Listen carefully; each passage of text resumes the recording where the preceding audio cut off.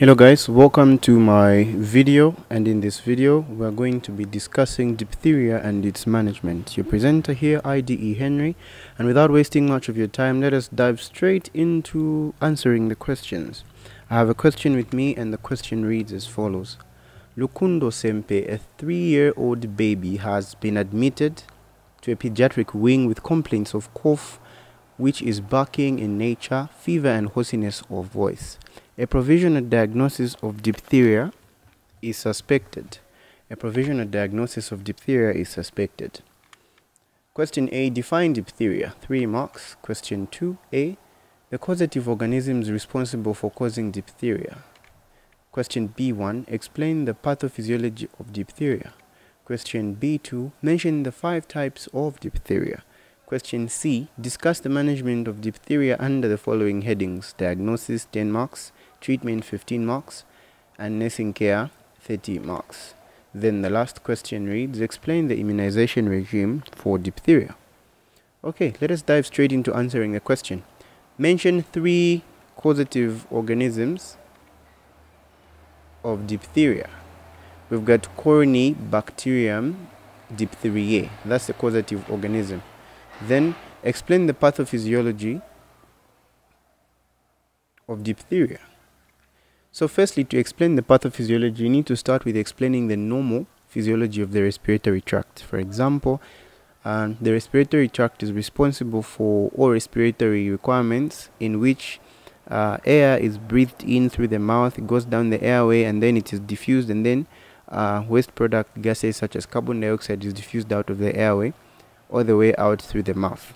And then you can explain. But in diphtheria, the causative organism enters the respiratory system through inhaled air containing droplets with the bacteria which settles in the upper respiratory tract to produce toxins, exotoxins to be specific. Then, the exotoxins are absorbed, causing tissue necrosis and inflammatory response such as fever and inflammation of the pharynx, larynx, and nose, causing cough with a barking sound.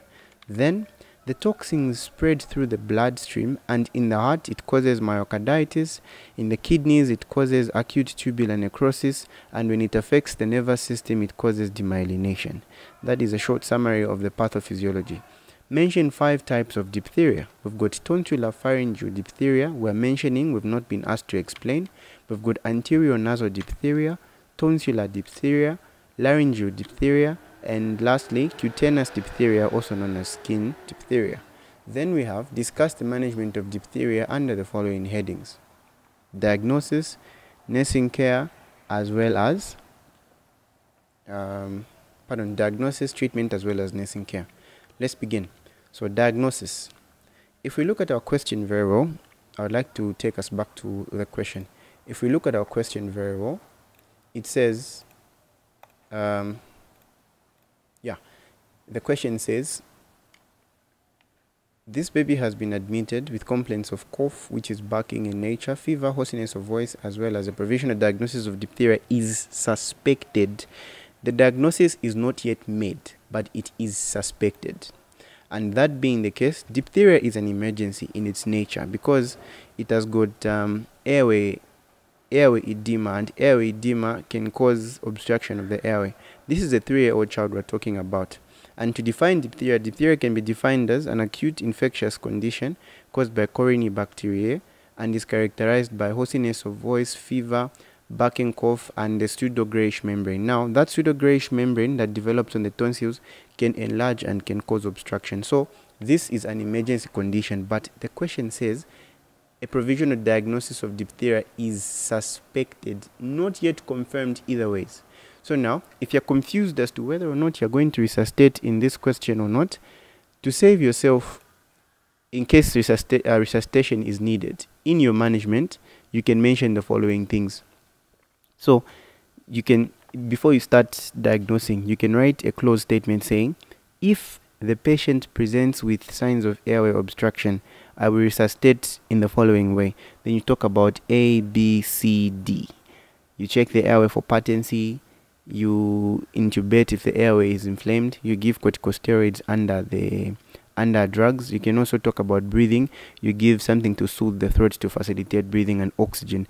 Then you've resuscitated this child. But in this case, we're not resuscitating because the stem has not outlined any life-threatening signs and symptoms. So after you give that if statement, then you can get back to diagnosis. So, management. Our aims to identify the causative organism. Secondly, to identify the specific type of diphtheria. Then we can go to our uh, medical management, which is the resuscitation part I was talking about. So primary assessment and resuscitation. I will assess if, use an if statement, airway, breathing, circulation, and drugs. So with our airway, you can use an if statement. I will assess the patient's airway to ensure it's clear of any obstructions such as secretions or laryngeal edema that could interfere with breathing, which in this case there is, because this is diphtheria. So I will perform a tracheostomy to facilitate airway patency. You can write that. Then breathing. I will assess the patient's breathing pattern to determine if it is adequate or if there are signs of respiratory distress, of which in this case there is cyanosis. And I will administer humidified oxygen through the tracheostomy at 3 liters per minute. With that being said, you can also conclude with circulation. I will assess the pulse rate to determine if there's any presence of tachycardia or bradycardia, and then I will establish an IV line using a sterile cannula for fluid administration and emergency drugs. Then lastly, I will administer Ringer's lactate for adequate circulation. That being said, then you can talk about drugs. This patient has got a barking cough and children usually are restless. So we can give them a drug and the drug we're giving in this case is firstly we're going to assess the sugar levels to note if there's presence of hypoglycemia. Then if there is, you can give, if you find that the RBS is less than 3.0, I will administer 10 mils of 50% dextrose to correct hypoglycemia. That being the case, ladies and gentlemen, we have resuscitated our patient. Then we can go straight into diagnosing now. So our diagnosis. We're going to start with history taking. So you can write the following. So I will take history and history will review having been exposed uh, through public gatherings or living in an area which is overcrowded. Then history will also review episodes, recent episodes of coughs with a barking sound. Then under physical examination, on inspection, the patient presents with irritability and restless, uh, restlessness.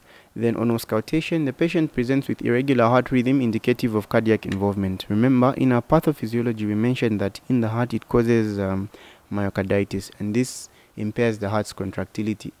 So now that can cause irregular heart rhythms. Then we go to lab investigations. So you write them exactly the way I have outlined them. You start with history taking. History taking, you write that you write your next heading, physical examination, then you write on inspection, on auscultation, and what it will review. Then you write another heading, which is lab investigation. So here, a throat swab. So a throat swab is going to be taken for microscopic culture and sensitivity, and this will review the causative organism. Then, blood for full blood count, and this will review elevated white blood cells indicative of presence of infection, which is fever. And then, Radiological examination, so you can talk about laryngoscopy. So laryngoscopy is going to review those pseudo-grayish membranes which are present. Yes. And then we can now talk about the treatment. So treatment, you need to outline the drugs. You mentioned the name. So now if they have told you medical management and the uh, medical management and you've been given 15 marks only, you're not supposed to start explaining the nursing implications. Uh, you start mentioning the, the adverse reactions or side effects the best thing you can do is just mention the drug, the dose, the route, and frequency. So, benzylpenicillin 25 milligrams per kg body weight intravenously for five days, twice daily. Then you can talk about steroids. You mentioned hydrocortisone.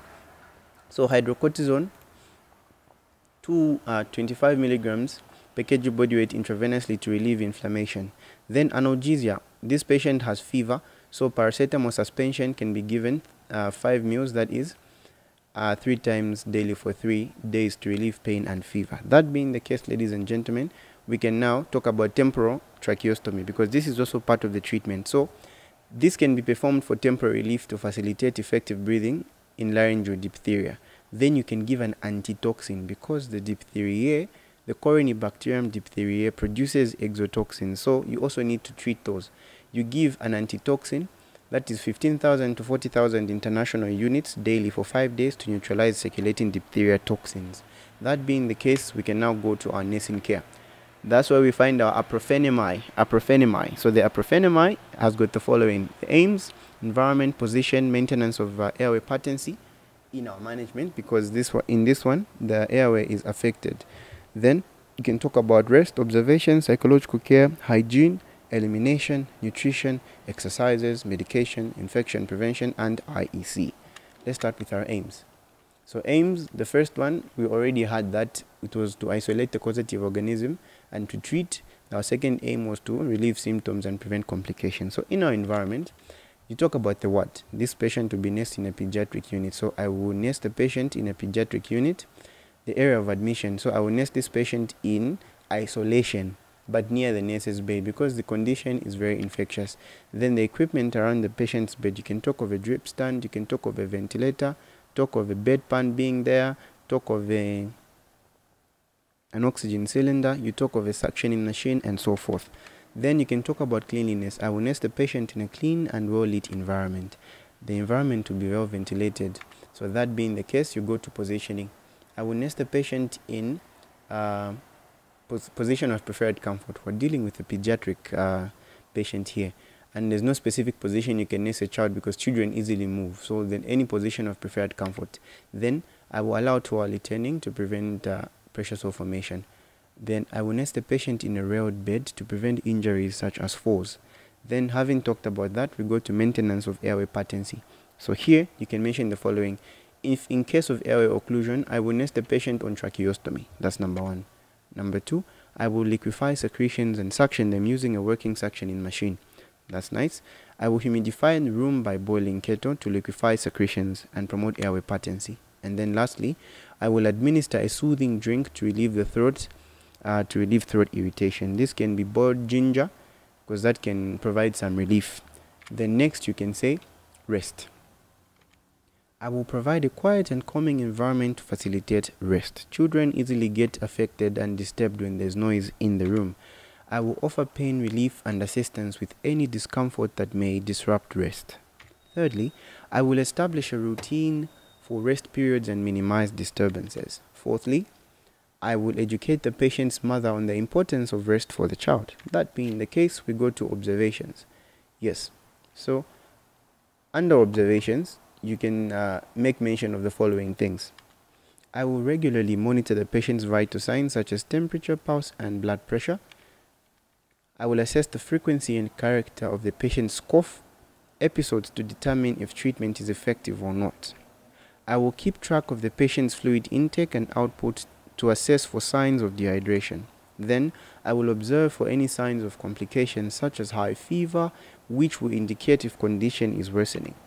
I will conduct pulse oximetry to determine levels of oxygen saturation to note if any respiratory failure is present. Then lastly, I will document and communicate observations to the healthcare team uh, for timely interventions. You can also continue with the following. I will monitor the patient's feeding pattern and encourage feeding. Remember, children lose their appetite easily when they are unwell. Then you can say, I will monitor the child's tolerance level, uh, levels for activities. That being the case, we talk about psychological care. Firstly, I will explain the condition to the patient's mother to allay anxiety because the mother is also anxious. I will explain reasons for isolation. I will explain symptoms to the mother of the patient and the current treatment. I will explain the tubings and equipment around uh, bed to allay anxiety. I will allow the patient to express concerns and ask questions to promote cooperations and allay anxiety. A three-year-old can express uh, his worries and concerns because they're able to talk. Yes. I will explain all procedures being done to the patient and the mother to promote cooperation and allay anxiety. Then we have hygiene. Under hygiene, you can explain the following things. Hand hygiene. I will wash hands frequently to prevent cross-contamination. Secondly, I will assist the patient in maintaining personal hygiene including oral care, bathing to prevent skin breakdown and infection. Then thirdly, I will ensure that the patient's environment is clean and free from contamination. Fourthly, I will ensure the safe uh, disposal of contaminated materials such as used tissues or soiled linens to prevent the spread of the bacteria. That being the case, we can talk about elimination. So, um, I will closely monitor the patient's stool output, including frequency, consistency, color, and presence of blood and mucus, if present. Then, I will assist with toiletry. I will assist the patients in a timely manner when they need to open bowels by providing a bedpan. Thirdly, I will educate the mother of the patients on the importance of proper hand hygiene or hygiene after each bowel movement, emphasizing thorough hand washing to prevent spread of infection. Then, I will ensure safe and hygienic disposal of soiled linen or items such as bedpan or commode buckets using appropriate infection control measures to prevent contamination of the environment and the spread of the bacteria. That being explained, we now go to our nutrition. I will provide adequate feeds consisting of a well-balanced diet to promote good nutritional status. I will give meals our feeds rich in proteins to replace worn out tissue and promote recovery. I will give the patient feeds rich in carbohydrates for energy such as rice, potatoes, juice. I will give the patient feeds rich in vitamins for maintenance of normal body metabolic processes. And lastly, I will provide a high fiber diet to prevent subsequent uh, constipation. Then you can conclude I will provide adequate oral fluids to maintain hydration. Next on our list of headings is that of exercises. What do you explain? I will encourage the patient to rest and avoid strenuous activities uh, during the acute phase of illness to conserve energy.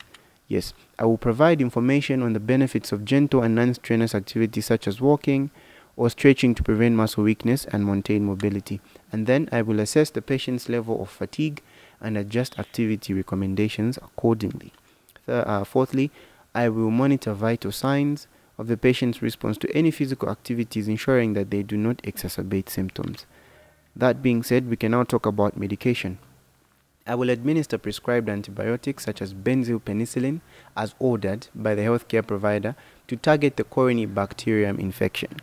I will educate the patient's mother on the importance of completing the full course of antibiotics if symptoms improve to prevent antibiotic resistance.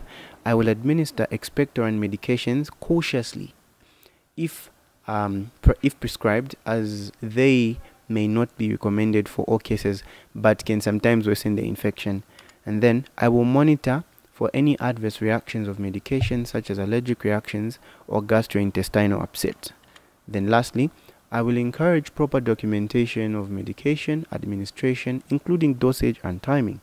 Lastly, our IEC, understanding diphtheria. So I will explain what diphtheria is in simple terms to the mother. It is a bacterial infection that affects the throat and can lead to severe breathing difficulties. I will mention that it is preventable through vaccination. Number two, treatment options. I will describe the treatment plan. Typically, Diphtheria is treated with antibiotics to kill the bacteria, and sometimes antitoxins uh, is administered to neutralize the toxins produced by the bacteria. I will ensure the mother understands the importance of completing the full course of antibiotics. Thirdly, isolation and hygiene. I will emphasize the need to isolate the infected child to prevent the spread of uh, the disease. I will explain how diphtheria is contagious through respiratory droplets and stress the importance of proper hand hygiene and cough etiquette to reduce the risk of transmission. Then, you can also conclude with the following vaccination. I will inform the mother about the importance of routine immunization and I will ensure that the child is up to date with their vaccines, including diphtheria, tetanus, pertussis vaccine, which is DPT, and mention the recommended uh, vaccination schedule where to get the child vaccinated if needed. And then also I will monitor, so monitoring and follow up. I will explain the importance of closely monitoring the child's condition during and after treatment. I will encourage the mother to watch for signs of improvement and any potential complications such as difficulties in breathing, which is obvious in this case. And I will stress the need for follow up appointments with the healthcare provider to ensure a full recovery. Those are five points under IEC that you can include both in the nursing care and if the question was asked to describe the IEC. Then, early detection and reporting, I will stress the need for marketeers. Um, pardon me, this is a, a whole different section. Okay, a quick summary. So, the last question was the vaccine for diphtheria. We were asked to outline the immunization regimen or regime for diphtheria. So, the vaccine is given from pentavalent combination. There isn't a single vaccine for diphtheria alone. So the vaccines given is a combination and it's a pentavalent combination of five vaccines. So we have, it's given at six weeks. The first dose is given at six weeks, typically given at 10 weeks. The sec, uh, uh, sorry, that was a typo there. So the first dose of uh, DPT is given at six weeks. This should be six. And then the second dose is given at 10 weeks. And then the third dose is given at 14 weeks. That being the case, ladies and gentlemen, we can do a quick summary. So the question was define diphtheria. Diphtheria can be defined as an acute respiratory inflammatory condition of the larynx, pharynx, trachea, and nose caused by Corynebacteriae and uh, Corynebacterium diphtheriae and is characterized by barking cough, pseudo-grayish membrane fever, as well as um, airway inflammation. Then we explained, we mentioned the causative organism, we explained the pathophysiology, we mentioned the five types of diphtheria, and we discussed the management in three critical headings. And we've also explained the immunization regime for diphtheria. Thank you very much for watching my video. Don't forget to like and share. And I'll be expecting comments if you're if you need any clarification. I'll be responding as soon as possible. Until then, see you in my next video.